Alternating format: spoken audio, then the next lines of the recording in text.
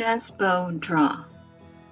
That's a question I've been asked. I think he does.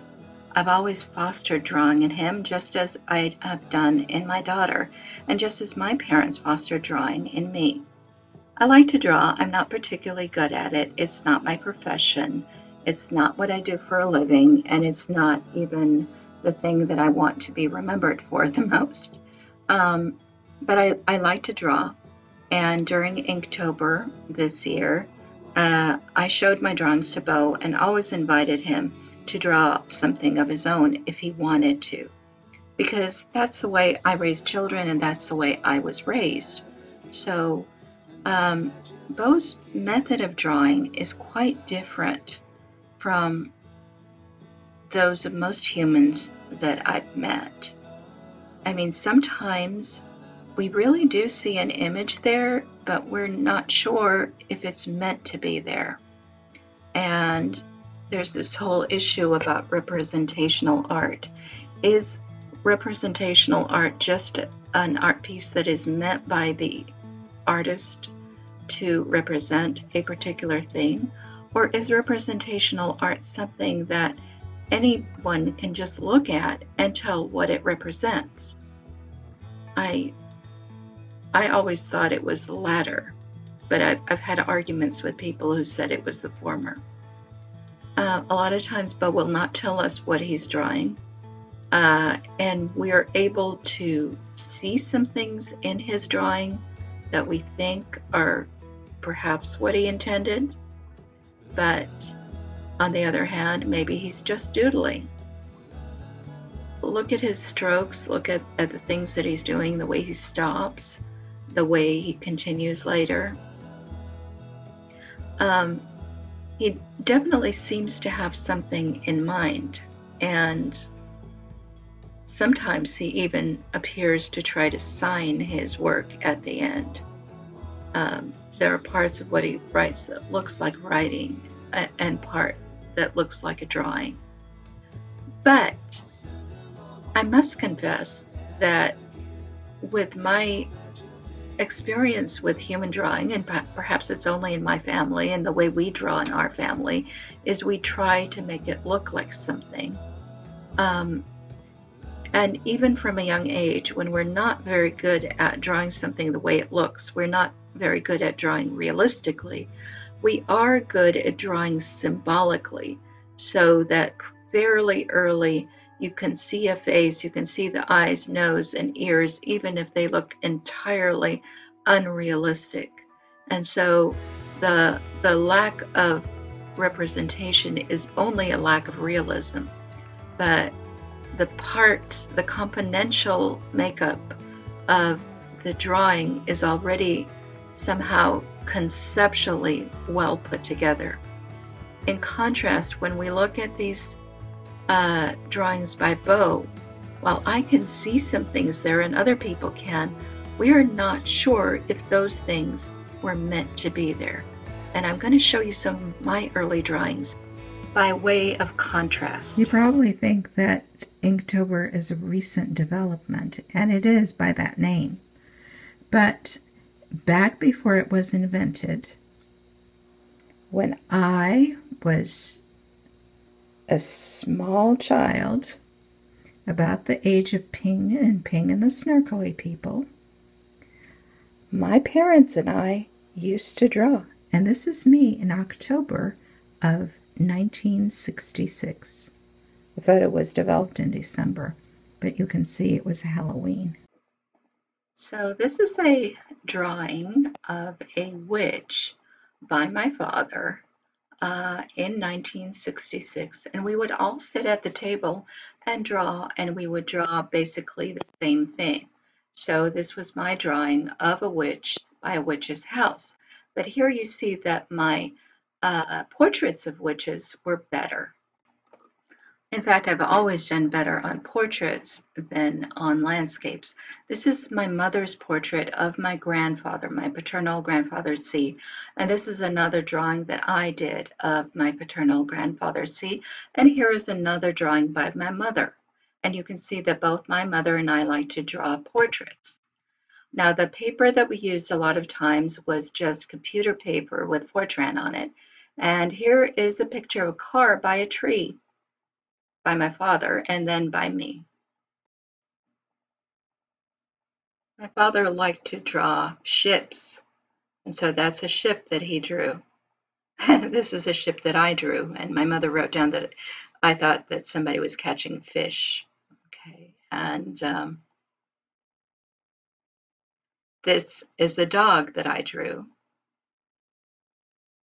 And this is my father's version of that same dog.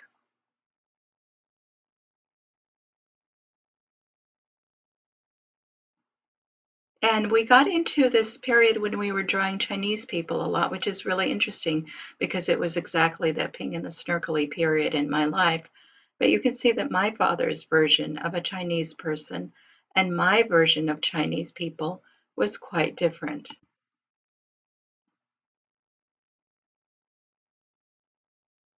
This is my father's version of a cheetah, and this is my version of a cheetah my father's version of a lion looking at a hunter, and my version of a lion looking at a hunter.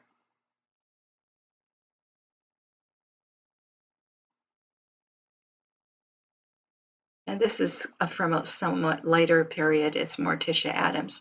In 1972, my father drew this portrait of me, and I drew that portrait of him. What I've seen as typical in the artwork of young children, at least in my family, is that they first of all identify subcomponents, you know, the parts of the face, the parts of the body, and they find ways to draw those things symbolically, not realistically, but so that you know, oh, these are the eyes, there's the mouth, there's the nose. Um, and sometimes they don't even know how they go together. So when Sword was in preschool, she drew me like this. Um, and she was already writing. But what you can see is that circle on top is the bun that identified my hair. And then there are eyebrows, and there are eyes, there are nostrils, there's a mouth, but there's not even anything to indicate where the head starts or where it ends. There are arms, there are legs, because she knew I had those, but she didn't quite know how they all went together. So this is how she drew. Uh, but what's clear about it is that it's very deliberate. In other words, it's not all, you know, scribbled together, and it's not that some kind of gestalt emerges the way we look at clouds or we look at scribbling that was not intended for to be anything and suddenly we see something there. Uh, our mind does make meaning out of patterns but this kind of a uh, kind of drawing which is representational is very digitized, very discreet, and it's not at all like the sort of blurry cloud images where we suddenly see a face or a bunny in the clouds. Uh, there's a deliberateness to it. I talked once to someone who thought that maybe a bad drawing was like a bad photograph, that it was um, blurry but there's no blur in these kind of early images. They're very, very distinct. Everything is very clear. We learn how to make things blurry later because actually a certain amount of blurriness uh, is more realistic than the, the, the strong uh, strokes that we give to things when we first start out. So this is a later image by Sword. Uh, this is our house. You know, our house doesn't look like that, but it symbolizes a house. We all know that a house has a roof, it has uh, windows, it has doors, and so these things were symbolized here. Um, here I am with my bun. Now my head is, I mean, the eyes and, and the mouth are inside the head, which is a circle, connected by a line, which is the neck to the rest of the body. I'm wearing a dress. And this is sword, and we're holding hands, and this is Bow. So, again, not realistic, but very representational and very deliberate. Um, and when she was a little bit older in school, uh, she they brought a pig in for them to draw, and this was the pig that she drew. And you can see how it's getting to be a little bit more realistic, but still, it's based on an idea of what the whole is and what are the parts. And she wrote down, Fred is a friend. Bow is looking through an album, really a scrapbook, and it contains a lot of drawings by Sword. And then he comes across something that he made.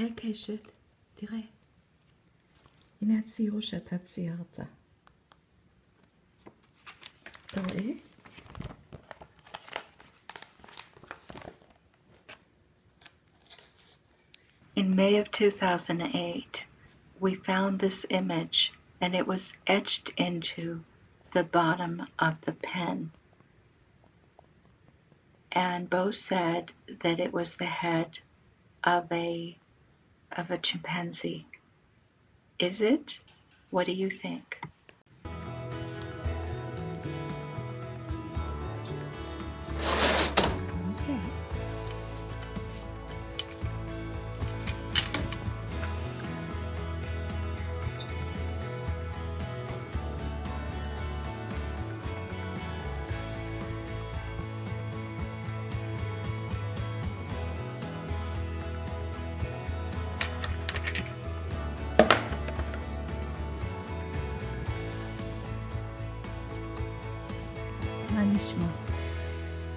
הכל בסדר? לא.